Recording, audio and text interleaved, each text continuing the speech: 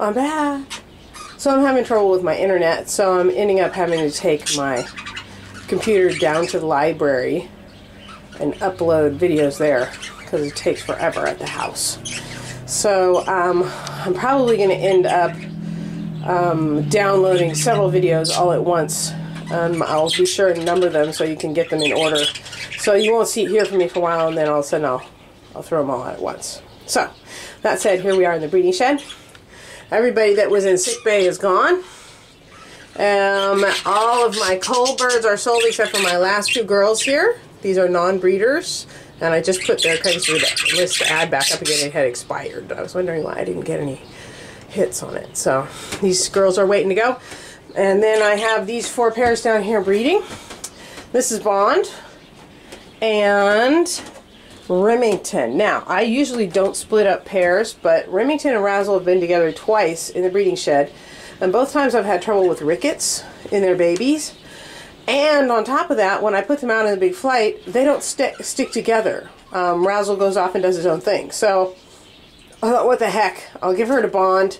Um, Breezy just had an incident with her health, so she may not be breedable anymore. Um, if she makes a, a, full recovery, then I can always give put her and Bond back together again um, late in the spring um, after giving him a rest after this. So, um, I had some troubles because, of course, we started early, and the minute I put them in here, we started getting freezing weather. And once you get down below about 40 degrees, the hens just can't keep the, the eggs warm enough for them to develop normally. So, um, Remington and Mist, this is Mist and Neptune, who has dived into the box, um, both had three eggs in the nest. Um, then we had a freeze, and they died. I, of course, watched the eggs for a while and determined that they were not developing normally. so, um, so I pulled those eggs. They both laid a few more eggs. And I also insulated the boxes. You can see they're wrapped with insulation. They also, underneath them, I put a piece of that warm fuzzy blanket down there, a little square of it, and then covered it with insulation on the bottom and duct taped it all around so that when they sit on the bottom of the box, the wood will get warm and stay warm instead of the heat wicking away every time a cool draft rolls by. so, and of course we've had freezing, well not freezing, but um, down in the 30s every night for weeks now. Um, but I just candled them yesterday and we do seem to have live embryos. Um, Remington is the one I'm worried most about. Her embryos are looking a little strange. Um, one of them I'm pretty sure is not going to make it. There may be two others that are looking questionable, so she may end up with only one chicken there. There's Neptune. Neptune seems to have grown. He looks bigger than he used to. He's taller.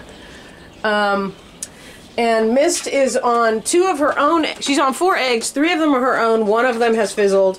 Two of them are developing normally. And she's also sitting on one of Limey and Marine's eggs, a Texas clear body egg. Limey and Marine were up here getting a medication, and they bred, and Marine laid two eggs, and one of them was viable, and I and um, Mist is raising it. So she has three viable embryos under there, and they're getting big. They're darkening up their egg properly now, so um, that's a good thing.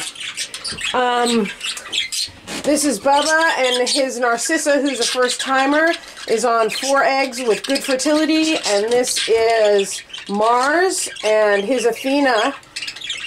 Nice way that those names ended up, huh? Um, and his Athena is on four eggs, and they have good fertility. Um, they are behind the other two. Let's see. Hatch dates. I'm supposed to start, according to my chart here for Bond and Remington, I'm supposed to start watching for chicks on the 21st. I don't think that's going to happen but maybe the 23rd. Um, on um, Neptune Mist, I'll be looking for chicks on the 23rd. And that's a rough estimate because, of course, we lost the first eggs, and I don't know exactly when the eggs that are still thriving were laid. Um, this is for the Texas Clear Body egg. So hatch date, there were two of them, but one fizzled. So the hatch date is either the 27th or the 29th.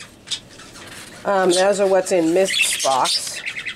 And um, let's see, this is Bubba Narcissa. or cold date's the 26th, so I haven't written an estimated hatch date on there yet. Let's take a look. Um, so the first egg was laid on 214. So if we look up here on our hatch chart, we look for February 14th, and we look over here and it says it will hatch on March 4th. So that's our estimated hatch date. And it's the same, I gotta put this down for a minute. And it's the same for both pairs because they both laid on the same day.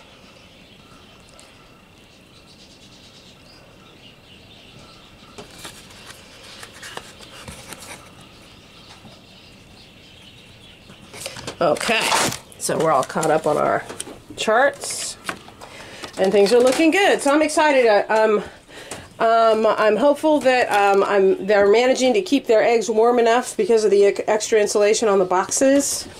Um, remind me next year not to do this. Don't try and start early. Of course, the reason I started early really was because Remington and Mist here were going to make put, send themselves into a um, decline trying to find a nest and starting to drop eggs in the big flight and that kind of thing. So I kind of had to put them in here. but um, outdoor breeders, it doesn't work well unless uh, if temperatures get too low. Below, they say below 40, and I believe it. They also say above 90. I don't believe that. I think they do fine if they get a little above 90. But the minute you get below 40, things get difficult um, if you don't have any artificial heat. So, but like I said, I seem to have some good development going here, so I'm happy. All right, so that's what's happening in the breeding shed.